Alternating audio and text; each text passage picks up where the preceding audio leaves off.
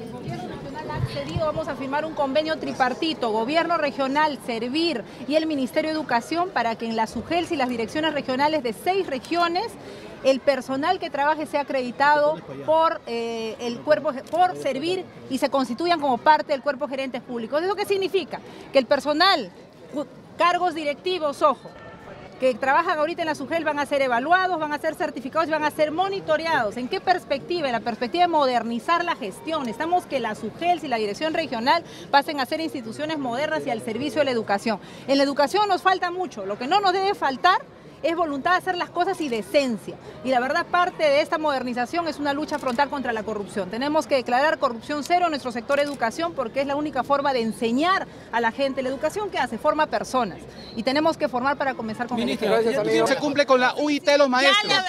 Ya le, dije, señor, respecto al aumento de los sueldos de los profesores. ¿Ya? Por favor, respetemos un poquito el momento. Hemos tenido que la Cámara estamos firmando. con la gestión de sillones. Bueno, en educación no los hemos tenido. Ya, ministra, muchas gracias. gracias.